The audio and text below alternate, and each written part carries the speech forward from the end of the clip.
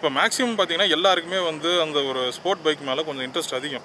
ஏன்னா அதில் இருக்கக்கூடிய பர்ஃபார்மன்ஸாக இருக்கட்டும் அதில் இருக்கக்கூடிய ஹார்ஸ் பவராக இருக்கட்டும் டார்க்காக இருக்கட்டும் அதோட ஸ்பீடாக இருக்கட்டும் பர்ஃபார்மன்ஸ்லேருந்து எல்லாமே எல்லாருக்குமே அவ்வளோ ரொம்ப பிடிக்கும். எல்லாருக்குமே வந்து ஒரு ட்ரீம் அப்படின்னு வந்ததுன்னா ஒரு ஸ்போர்ட் பைக்கை ஓன் பண்ணணும் அப்படின்ற மாதிரி ஒரு ட்ரீம் ட்ரீம் வந்து கண்டிப்பாக எல்லாருக்குமே இருக்கும். ஓகேவா இன்றைக்கி அந்த ஸ்போர்ட் பைக் அந்த கேட்டகரி பற்றி பார்த்துருவோம்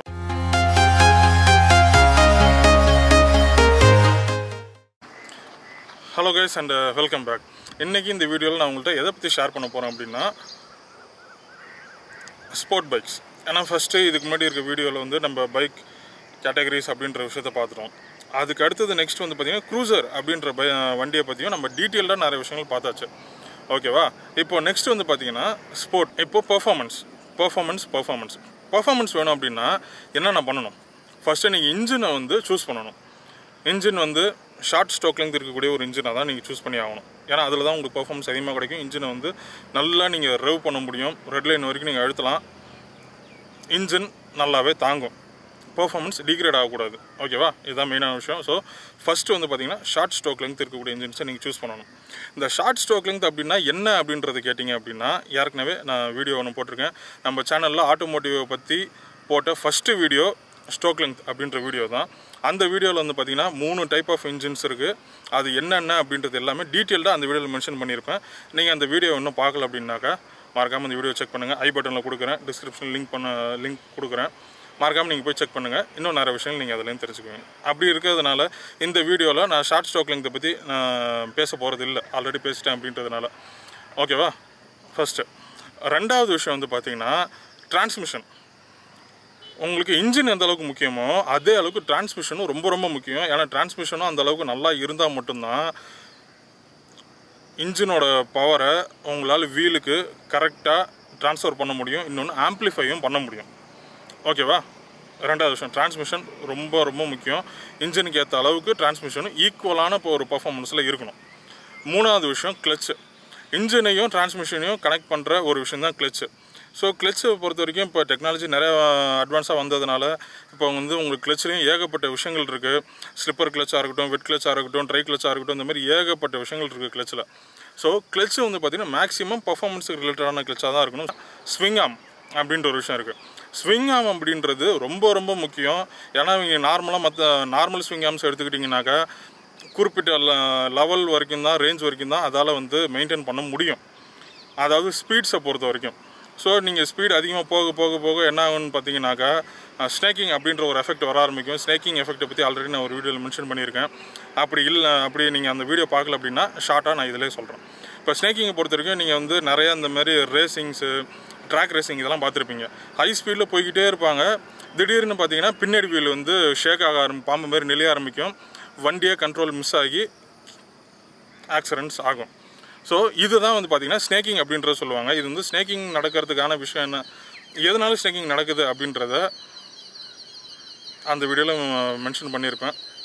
பார்த்து தெரிஞ்சுக்கோங்க. ஸோ ஸ்னேக்கிங்கிற ஒரு விஷயத்தை அவாய்ட் பண்ணணும் அப்படின்னாக்கா ஸ்விங்காம் அப்படின்ற ஒரு விஷயம் நல்லா ஸ்ட்ராங்காக இருக்கணும். அந்தளவுக்கு நல்லா நல்ல பவர்ஃபுல்லான ஸ்விங்காமாக போட்டால் தான் உங்களுக்கு ஹை ஸ்பீட்ஸில் வந்து பைக் நல்லா ஸ்டேபிளாக இருக்கும்.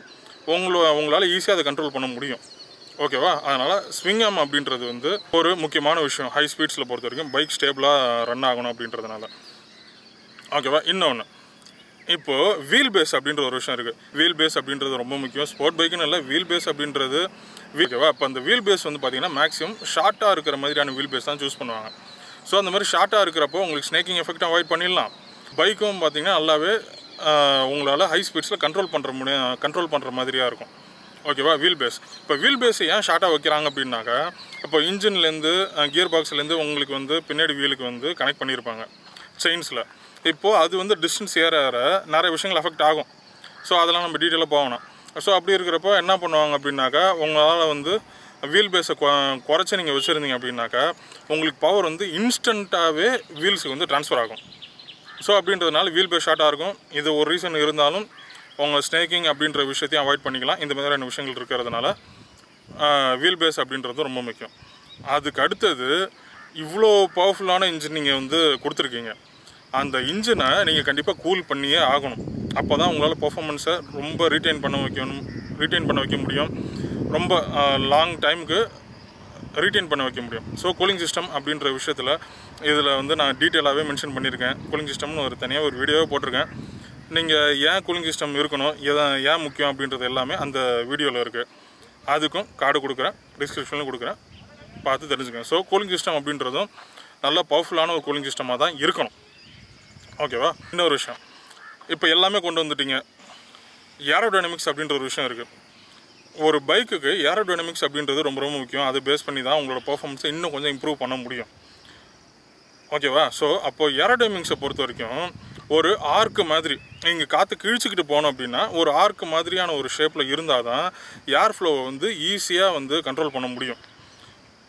அப்படி இருக்கிறதுனால தான் என்ன பண்ணுவாங்கன்னு பார்த்தீங்கன்னா ஸ்போர்ட் பைக் எல்லாத்துலேயுமே உங்களை லீன் பண்ண வைப்பாங்க ஃப்ரண்ட்டில் என்ன பண்ணியிருப்பாங்கனாக்கா ஃபோர்க்கு வந்து ரொம்ப கீழே லோவாக இருக்கிற மாதிரி தான் ஹேண்ட்பார் வந்து செட் பண்ணியிருப்பாங்க. நீங்கள் ஃப்ரண்ட்டில் நல்லா லீன் பண்ணுவீங்க. அப்படி லீன் பண்ணுறப்போ தான் அந்த ஒரு ஆர்க்கு மாதிரியான ஒரு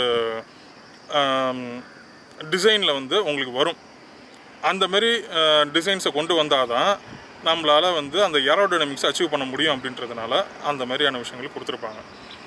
நெக்ஸ்ட்டு அடுத்தது வந்து பார்த்திங்கன்னா ஏர் இன்டேக் ஏர் இன்டேக் அப்படின்றது ரொம்ப ரொம்ப முக்கியம். ஏர் ஃபியூல் ரேஷியோவில் அதை பற்றி நான் பண்ணியிருக்கேன். எல்லாமே நான் வீடியோஸ் முன்னாடியே போட்டிருக்கேன். ஸோ நம்ம சேனலில் இருக்க வீடியோஸை மறக்காமல் செக் பண்ணி பாருங்கள் ஓகேவா இப்போ இந்த யாரை வந்து பார்த்தீங்கன்னா ரொம்ப ரொம்ப முக்கியமான விஷயம். ஏன்னா நீங்கள் நார்மலாக எந்த ஏரை வேணாலும் நீங்கள் எடுத்துகிட்டு போட்டுற முடியாது. ஏன்னா நார்மலாக இன்ஜின் அவ்வளோ ஹீட்டாக இருக்கும். அப்படி இருக்கிறப்போ நீங்கள் அந்த ஹீட்டான ஏரியா அப்சர்வ் பண்ணி இன்ஜினுக்கு கொடுத்தீங்க அப்படின்னா உங்களுக்கு பர்ஃபார்மன்ஸ் அப்படின்றது குறைஞ்சிரும். இன்னொன்று மைலேஜ் அப்படின்ற ஒரு விஷயம் வராது. இன்ஜின் இன்னும் கொஞ்சம் ஹீட் ஆகும் இதனால். ஏன்னா அந்த ஏர் தான் உங்களுக்கு இன்ஜினுக்குள்ளே போகுது. அந்த ஏர் கம்ப்ரஸ் ஆகி அந்த fuel air fuel mixture compress ஆகி டெட்டனேட் ஆகிறப்போ உங்களுக்கு இன்ஜின் இன்னும் கொஞ்சம் ஹீட் அதிகமாகும். ஏன்னா ஏர் அப்படின்றது ஹீட் அதிகமாக இருக்கிறதுனால. ஸோ உங்களுக்கு பர்ஃபார்மன்ஸ்லேருந்து எல்லாமே குறைஞ்சிரும். அப்படி இருக்கிறதுனால என்ன செய்வாங்க அப்படின்னு பார்த்தீங்கன்னா மேக்ஸிமம் கோல்டான ஏரை எந்த அளவுக்கு எடுக்க முடியுமோ அதாவது ஹீட் அவாய்ட் பண்ணிட்டு நார கோல்டாக இருக்கிற மாதிரியான ஏர் யாரை வந்து எங்கேருந்து செக் பண்ண முடியுமோ அந் அந்த இடத்துலேருந்து தான் வந்து உங்களுக்கு ஏர் இன்டேக் அப்படின்றது வரும். ஸோ அந்த மாதிரி உங்களுக்கு ஏர் இன்டேக் அப்படின்றத கொடுத்து உங்களுக்கு இன்ஜினை வந்து இன்னும் கொஞ்சம் பூஸ்ட் பண்ணுவாங்க. இந்த மாதிரி ஒவ்வொரு விஷயமுமே வந்து பார்த்திங்கன்னா நிறைய விஷயங்கள் எல்லாமே ரிலேட் ஆகும். யார் அது இதுன்னு சொல்லிட்டு ஏகப்பட்ட விஷயங்கள் வரும். ஆனால் இதில் நீங்கள் வந்து டெக்னிக்கலாக யோசிச்சு நீங்கள் பார்த்தீங்க அப்படின்னாக்கா ஏன் இந்த அளவுக்கு ஒரு ஸ்போர்ட் பைக்கு மனக்கட்டுறாங்க அப்படின்றது உங்களுக்கு தெரியும். இதெல்லாம் ஒன்று சேர்ந்தால் தான் ஒரு ஸ்போர்ட் பைக்காகவே அது மாறும். ஏன்னா பர்ஃபார்மன்ஸ் அப்படின்றது ரொம்ப ரொம்ப முக்கியம். ஏன்னா ஒரு ஸ்போர்ட் ஒரு ரேசிங் அப்படின்னு சொல்லிட்டு வர்றப்போ சின்ன சின்ன விஷயங்கள்னால செகண்ட்ஸ் மில்லி செகண்ட்ஸில் வந்து மிஸ் ஆகிடும் அப்படி இருக்கிறதுனால என்ன பண்ணுவாங்கன்னா ஒவ்வொரு விஷயத்தையும் ரொம்ப நோட் பண்ணி எல்லாமே பண்ணி தான் செய்வாங்க. அதுக்கு அடுத்தது ஸ்போர்ட் பைக்குன்னு வந்துட்டாக்கா டயர்ஸ் மிஸ் பண்ணவே முடியாது. டயர் பார்த்தீங்கன்னா ஸ்போர்ட் பைக்கில் எல்லாமே நல்லா பெருசாக தான் இருக்கும். ரேடியல் டயராக இருக்கும். இன்னொன்று அந்த டயருமே வந்து பார்த்திங்கன்னா நல்லா இப்படி கருவாக இந்த இந்த மாதிரியான ஒரு ஷேப்பில் தான் டயரே இருக்கும். ஏன் அந்த அளவுக்கு டயர் அந்த அளவுக்கு அவ்வளோ பெருசாகவும் வைக்கிறாங்க அப்படின்னாக்கா இப்போது நீங்கள் வந்து கார்னரிங் பண்ணுறீங்கன்னு வச்சுக்கோங்களேன். இப்போ நம்ம கார்னர் இப்போ நம்ம வந்து ஒரு லெஃப்ட் டேர்ன் எடுக்கணும் ரைட் டேர்ன் எடுக்கணும் அப்படின்னாக்கா நம்ம என்ன பண்ணுவோம்? ஸ்பீடை குறைச்சி தான் திரும்புவோம். ஆனால் ரேசிங்கில் பொறுத்த வரைக்கும் உங்களுக்கு ஸ்பீடு அப்படின்றது குறைஞ்சிடவே கூடாது. ஏன்னா அந்த ஒரு செகண்டில் நிறைய பேர் வந்து ஓவர்டேக் பண்ணிவிடுவாங்க அப்படின்றதுனால என்ன பண்ணுவாங்கன்னு பார்த்தீங்கன்னா அந்த டயர் வந்து இந்த மாதிரி ஒரு கர்வ் ஷேப்பில் கொடுக்குறப்போ என்னன்னு பார்த்தீங்கன்னா உங்களால் வந்து நல்லாவே பைக்கை வந்து லீன் பண்ண வைக்க முடியும். அதாவது நல்லாவே பைக்கை சாய்க்க முடியும். எந்த சைடுனா லெஃப்ட்னாலும் சரி ரைட்னாலும் சரி நல்லாவே வந்து பைக்கை சாய்க்க முடியும். அப்படி சாய்க்கிறப்போ என்னன்னு பார்த்தீங்கன்னா நீங்கள் ஸ்பீடை வந்து அந்தளவுக்கு ரெடியூஸ் பண்ணாமல் ஈஸியாகவே உங்களால் வந்து அந்த ஸ்பீட்ஸையும் மெயின்டைன் பண்ண முடியும். ரொம்ப ஸ்பீடும் குறைக்காம உங்களால் மெயின்டைன் பண்ண வைக்க முடியும். அதே டைமில் நீங்கள் அந்த கார்னரையும் டேர்ன் பண்ணிடலாம். அப்படின்றதுனால தான் உங்களுக்கு வந்து அந்த டயர் வந்து நல்லா ப்ராடாக இருக்கும். நல்ல ஒரு கருவான ஒரு ஷேப்பில் கொண்டு வருவாங்க. இன்னொன்று டயர் எந்த அளவுக்கு ப்ராட் ஆகுதோ அந்த அளவுக்கு பார்த்தீங்கன்னா உங்களால் எந்த சைடு வேணாலும் டேர்ன் பண்ண வைக்க முடியும் அப்படின்றதுனால டயர் வந்து கொஞ்சம் பெருசாகவே தான் இருக்கும். ஓகேவா ஏன்னா ரொம்பவும் வண்டியை சாய்ச்சிட முடியாது. ஏன்னா சாய்ச்சிட்டாக்கா கிராவிட்டி அப்படின்ற ஒரு விஷயம் இருக்குது பேலன்ஸ் மிஸ் ஆகிடும் ஸோ ஆக்சிடென்ட்ஸ்லாம் நடக்கும். அப்படின்றதுனால அதுக்கேற்ற மாதிரி எந்த அளவுக்கு லீன் பண்ண வைக்க முடியுமோ அந்த அளவுக்கு பண்ணியிருப்பாங்க. இன்னும் ஒன்று வந்து பார்த்தீங்கன்னா உங்களோட காலோட நீங்கள் காலை வச்சுருக்கீங்களா? ஃபுட் ரெஸ்ட்டு அந்த ஃபுட் ரெஸ்ட்டும் பின்னாடி இருக்கிற மாதிரி தான் செஞ்சுருப்பாங்க. ஃபிக்ஸ் பண்ணியிருப்பாங்க அந்த மாதிரி பின்னாடி இப்போ நார்மலாக நீங்கள் நார்மல் பைக்ஸில் வந்து பார்த்தீங்கன்னா வச்சுக்கோங்களேன் உங்களுக்கு ஃப்ரண்ட்லேயே இருக்கும். ஃபுட் ரெஸ்ட் வந்து நீங்கள் நார்மலாக சேரில் உட்கார்ற மாதிரியான கிட்டத்தட்ட அந்த மாதிரியான சீட்டிங் போஸ்டரில் தான் இருக்கும். அந்த மாதிரி வச்சாங்க அப்படின்னாக்கா உங்களுக்கு ஏற்கனவே நமக்கு அந்த டிசைனில் வந்து பார்த்திங்கன்னா உங்களுக்கு வந்து ஒரு பெரிய ப்ராப்ளம் வந்துடும் ஏன்னா உங்களால் வந்து பைக்கை வந்து எந்த சைடு வேணுமோ லெஃப்ட் வேணுமோ இல்லை ரைட் வேணுமோ எந்த சைடில் வேணாலும் உங்களால் டேர்ன் பண்ண முடியாது. அந்த மாதிரி ஏன்னா ஈஸியாக வந்து பார்த்தீங்கன்னா உங்களை அந்த ஃபுட் ரெஸ்ட்டே வந்து நீங்கள் கொஞ்சம் டேர்ன் பண்ணாலும் ஃபுட் ரெஸ்ட்டை வந்து தரையிலே போடும். அதனால பேலன்ஸ் மிஸ் ஆகி ஆக்சிடென்ட்ஸ் நடக்கும். ஸோ அப்படின்றதுனால ஃபுட் ரெஸ்ட்டுமே வந்து பார்த்திங்கன்னா கொஞ்சம் பின்னாடி இருக்கிற மாதிரி அதாவது நீங்கள் ஃப்ரண்ட்டில் இப்படி படுத்துருக்கிற மாதிரியான ஒரு டிசைனில் தான் ரெடி பண்ணுவாங்க. அப்படி இருக்கிறப்போ உங்களால் மேக்ஸிமம் அந்த கிட்டத்தட்ட அந்த லிமிட் வரைக்குமே உங்களால் வந்து பைக்கை லெஃப்ட் சைடு ரைட் சைடு எந்த சைடு வேணாலும் ஈஸியாக சாய்க்கலாம். பேலன்ஸ் மிஸ் ஆகாமல் ஓட்டுறதுக்கு இந்த மாதிரியான விஷயங்கள்லாம் ரொம்ப ரொம்ப முக்கியம். இன்னொரு மெயினான விஷயம் வந்து பார்த்தீங்கன்னா பவர் டு வெயிட் ரேஷியோ அப்படின்ற ஒரு விஷயம் இருக்குது ஏன்னா பவர் டு வெயிட் ரேஷியோ அப்படின்றது ஸ்போர்ட் பைக்கில் எப்போவுமே ஹை ஹையர் வேல்யூவில் இருக்கிற மாதிரி தான் பார்ப்பாங்க. உங்களுக்கு பவர் எந்த அளவுக்கு இருக்கோ அதோட வெயிட்டு கம்மியாக தான் இருக்கும். ஓகேவா இப்போ எக்ஸாம்பிள் ஒரு ஈஸியாக சொல்லணும்னு வச்சுக்கோங்களேன். இப்போ நம்ம வந்து ரெண்டு விஷயங்கள் எடுத்துக்கலாம். ரெண்டு பைக் எடுத்துக்கலாம். இப்போது ராயல் என்ஃபீல்டில் இருக்கக்கூடிய பைக்ஸ் எடுத்துக்கோங்க. ஓ த்ரீ ஃபிஃப்டியாக இருக்கட்டும் இல்லை ஃபைவ் ஹண்ட்ரடாக இருக்கட்டும் ஏன் சிக்ஸ் ஃபிஃப்டியை கூட எடுத்துக்கோங்க. ஏன்னா ராயல் என்ஃபீல்டில் இருக்கிறதுல பார்த்தீங்கன்னா சிக்ஸ் ஃபிஃப்டி இருக்குது அஃபோர்டபுள் ரேஞ்சில் தான் இருக்குது சிக்ஸ் ஃபிஃப்டி அப்படின்றது. இப்போ ஒரு சிக்ஸ் ஃபிஃப்டி சிசி நீங்கள் எடுத்துக்கிறீங்க அப்படின்னாக்கா அதோட ஸ்பெசிஃபிகேஷன்ஸ் என்னவா இருக்குது என்ஃபீல்டில் பொறுத்த வரைக்கும்.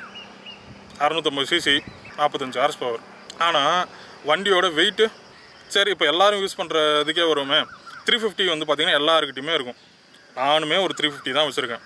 ஸோ இப்போ த்ரீ ஃபிஃப்டியோட ஸ்பெக் வந்து பார்த்தீங்கன்னா முந்நூற்றம்பது சிசி நூற்றி தொண்ணூற்றி ஏழு கிலோ இருபது ஹார்ஸ் பவர் இப்போ டோமினார் எடுத்துக்கிட்டிங்கன்னா நானூறு CC three fifty four hundred ஐம்பது சிசியில் ஒன்றும் பெரிய டிஃப்ரென்ஸ் வரப்போகிறதில்ல இப்போ இந்த ரெண்டு பைக்கை கம்பேர் பண்ணுங்களேன்.